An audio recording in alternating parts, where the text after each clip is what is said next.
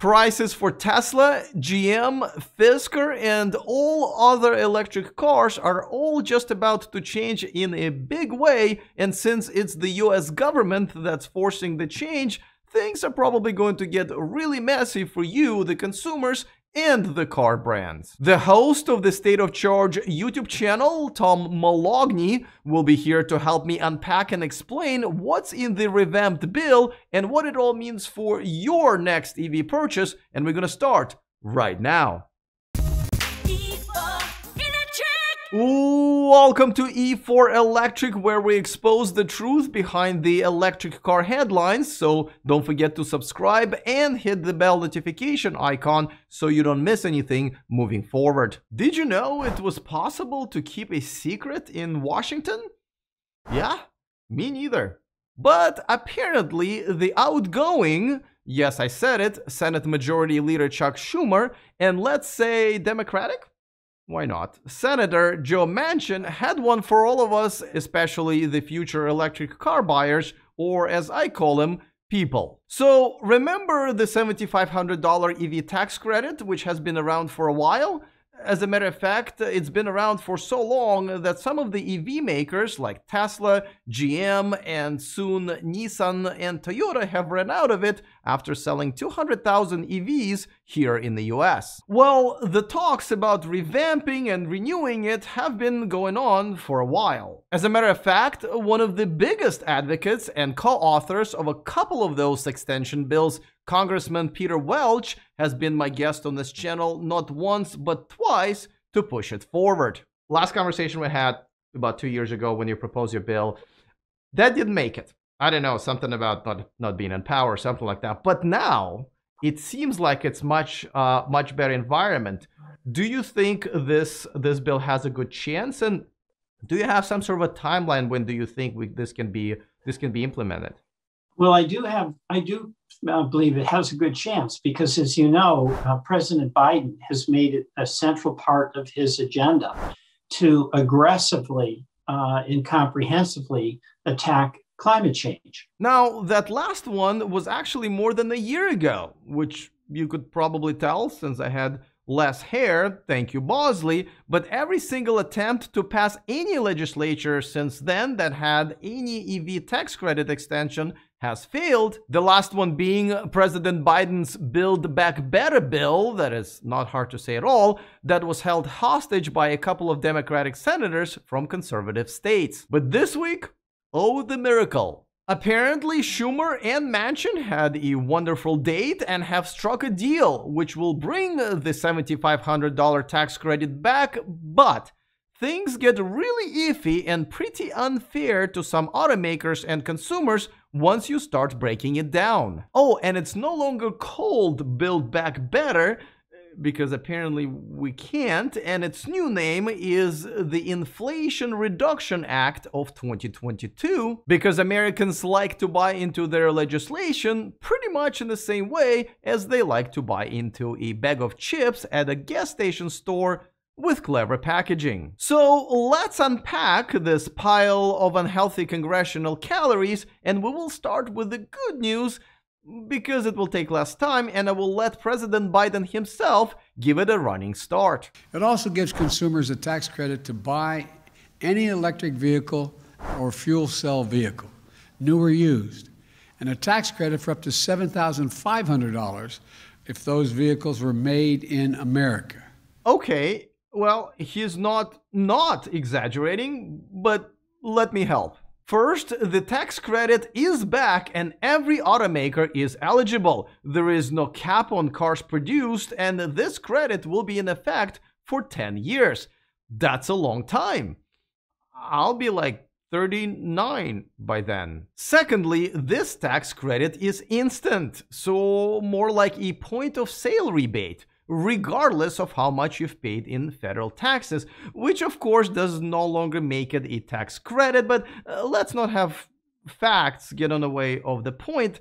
And by the way, I always thought that if you don't make enough money to pay $7,500 in taxes, maybe you shouldn't be you know, buying a Tesla. And thirdly, and this is a big one, you will get up to $4,000 tax credit if you're buying a used electric vehicle. Very cool, right? Well, well here's the thing all of these awesome perks actually come with some really strict limits which will nullify a lot of these to the point you may actually miss the existing tax credit rules. I will tell you what all of these big limitations are, but before that, a quick reminder that this video is brought to you by Electrify America, the largest public fast charging network in the US that provides the freedom for all EV drivers to go where they need to go, including coast to coast. Electrify America has ultra fast chargers at speeds of up to 350 kilowatts for capable vehicles. Download their app to find hundreds of locations and sign up for their Pass Plus membership for discounted charging sessions. Get started using the link in the description of this video. So let's talk about how this bill, if passed, will actually make you pay more for some of the electric cars next year than you would have paid for them this year. First, the credit is only available for EVs that are assembled in the United States. This not only disqualifies a lot of good EVs, but can actually drive some of the smaller startups that chose to make their EVs somewhere else like Fisker, completely out of business. If passed and signed, this bill goes in effect on January 1st, and this is just not enough time for any car maker, big or small, to move their manufacturing into the US. Apparently, the only thing that has a chance to be moved into the United States before January 1st is monkeypox. But even if you do build your EVs in the United States, that's still not enough you get half of the tax credit removed if the EV has less than 40% of its battery crucial minerals from the US or countries with a free trade agreement with the US, and you lose the other half of the credit unless at least 50% of the battery components come from the US or countries with a free trade agreement with the US. And on top of that, uh, these mineral and component percentage requirements increase every year for the next few years. Then there is ever dreaded cap on the price. The MSRP of the vehicle must be under $80,000 or less for SUVs, vans, and trucks, and $55,000 for all other vehicles. Now, of course, MSRP stands for the manufacturer's suggested retail price, which we have recently found out doesn't mean doodles. Uh, I mean, let's face it, suggestions don't mean anything anymore. For example, Amazon suggests uh, that when I buy a Love Actually DVD, I should also buy a box of Kleenex. It is a touchy movie, but what I really need is a DVD player. So, for example, because of the price cap, Tesla will only have the Model 3 rear-wheel drive eligible for the tax credit due to the $55,000 limit. Now, it's possible that Tesla could drop the prices on other models to qualify for the credit, though I don't know if they would want to since they haven't had any issues selling any of their models despite repeatedly jacking up their prices every few months by thousands of dollars. But startups like Fisker and a few others may just be completely out of luck, which means they may either decide to opt out of selling in the United States altogether or possibly to face bankruptcy. And even if somehow the EV you want to buy passes all of these hurdles, you know who may still be the biggest hurdle of them all? You! You may actually disqualify you from ever getting any of this credit because now there is an income cap and it's not adjusted for your location, even though the places where EVs are the most purchased have much higher cost of living. So if you make more than $150,000 a year, or as we call it here in Silicon Valley, minimum wage, and I'm not even joking, or more than $300,000 per household, well, no soup for you. And for the used EVs, you can only claim a tax credit of 30% of the vehicle's value with a $4,000 cap. It cannot be a business, and buyers may claim only one credit every three years. The used EVs must be at least two model years old at the time of sale, purchased at a dealer and cost $25,000 or less. Used EVs qualify for the tax credit only once per their lifetime, and uh, there is a modified gross income cap of $75,000 per person or $150,000 for a household. So, yeah. Now, of course, I do have to say that if you are an American like me, this bill does do a good job of bringing manufacturing back, and it actually has some other good things in it, like minimum taxation on billion dollar companies, which all car makers are, so they don't get away with paying less taxes than you and I. And of course, this bill still has to pass the Senate, which is not 100% done deal with other senators maybe possibly having other issues with it, especially Kyrsten Sinema, who was the other holdout besides Joe Manchin to pass the Build Back Better bill. But this is by far the best and probably the last chance to update the EV tax credit in a while and probably in the next few years. So the big question is, would it be better to keep what we already have? Now, feel free to play a US senator in a comment section and by today's standards, that probably wouldn't be that much of a stretch. And let me know if you would vote for the new tax credit bill or would keep what we have right now. Meanwhile, for more, as always, I turn to the host of the State of Charge YouTube channel and a man who always has my vote, Tom Moloughney. All right, Tom, so I know that this deal makes sense politically, especially for Democrats, but does does this make sense for you know, the people we care about, the electric car consumers, especially the ones buying an electric car in the next few years? Well, you know, it can, and it's going to help some people. It's going to hurt some people. It's it's not what uh, I think most of the electric car community was hoping for. If you're a GM fan, it'll help you because they're going to potentially have some of their vehicles qualify for the new tax incentive. But uh, you know, it's it's it's hard to really look at this overall, Alex, and be happy with it. Now, I've recently uh, found out that um, life is not fair, and and and uh, it changed my life honestly. and and and this is probably one of the prime examples. Is this fair to some car manufacturers that already chose a certain path of manufacturing outside of the United States, especially the startups? that can just build another factory or use another factory in the US, like Fisker, this could break them. So, is it fair? I guess probably not, but as you said, you know, life isn't fair, business isn't fair. Uh, I think if you were smart and you were a Fisker or another manufacturer, I think you had to see this coming uh, a while ago and understand that when this tax credit eventually got rewritten, and we knew at some point it was going to be rewritten, it was going to really favor manufacturing in the US. I think we've seen that signaled for a long time now. So, you know, I don't think that they're really that surprised. And when I say they, I mean the manufacturers themselves, the startups and, and the legacy brands. I think they kind of imagined something like this was going to be the end result. So who who is going to benefit? Which which brands are going to benefit from this? Um, I'm assuming Tesla and GM probably would see one of the biggest changes from at least what the status quo is right now for them. So yeah, I don't know how much Tesla is going to benefit for, from this. You know, on the surface, the the the standard range rear wheel drive Model 3 would qualify based on price. None of the other Tesla vehicles would, although Tesla could lower their price to get them just under.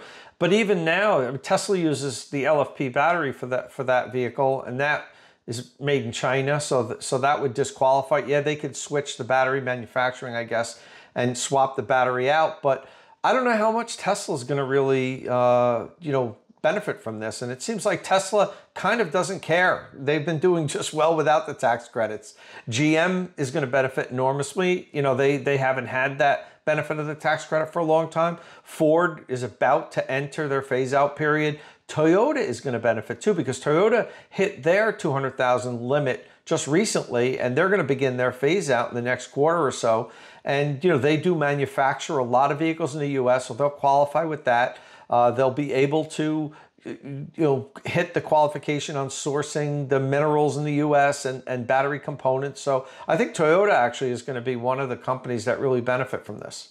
Okay, so then would it be fair to say that this is actually going to help Tesla competitors unless would they go out of their way like they did in Germany to start, you know, lowering prices on maybe the Model Y and also doing another switcheroo with the battery and putting the Panasonic you know, uh, US made batteries back into Model 3? Is it even worth it for them?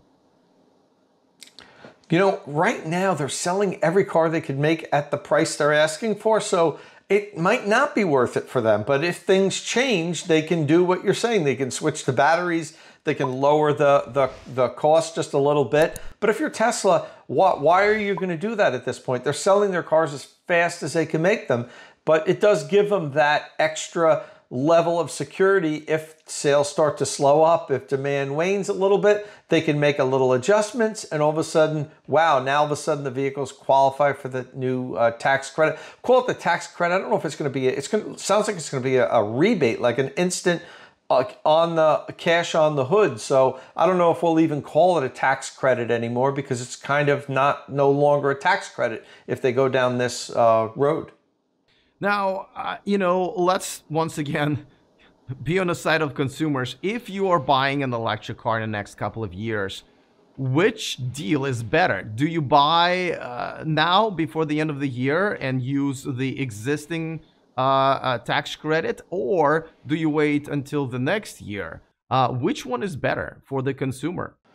Well, I guess it depends on which model you're going after. A lot of the vehicles that currently qualify for the tax credit will not qualify for the the incentives in 2023 once this starts. And quite honestly, I don't even know which vehicles are going to. That, that that's one of the things I don't like about this new uh, you know legislation it's really confusing to try to figure out well which vehicles are going to qualify. Uh, the average person would have no idea what the battery content is made of and what percentage of components you know even in many instances which vehicles are made in north america because manufacturers make cars all over the world now. So you know i think that's going to be a problem. We're going to have to have some kind of a list made up somewhere where people can just quickly reference and know which vehicles qualify for this incentive because it, it's unlike now the way it was that all the EVs would qualify unless your manufacturer was, you know, hit their limit already, Tesla and GM. But other than that, it's very easy. You know, you just had to look at the battery size. But with these these new regulations, it, you really almost need a roadmap to figure out which vehicles are going to qualify and which ones won't. So, you know, I you know, it's hard for me to say which is better. I think maybe the past tax credit or the current tax credit in many instances is better for some people than what the new legislation is going to be. But what I will say is the new proposed legislation is probably better for less uh, lower income families because that was one of the big problems with the tax credit. You were you were asked to put out the money up front and then you got it back in your taxes. But with the way it's structured now, you'll get it as a point of sale rebate. And that's going to help some lower income families get into EVs that they couldn't have previously afforded. Now, one thing everyone can afford is to subscribe to Tom's channel, and I put a link to it in the description of this video. And check out the new YouTube feature, the Super Thanks button, where you can contribute to any channel, but in this case, for a small fee, you can provide food, shelter, and clothing uh, to this YouTuber. All right, looking forward to all of your comments. Other than that, see you guys next time, and remember to stay charged.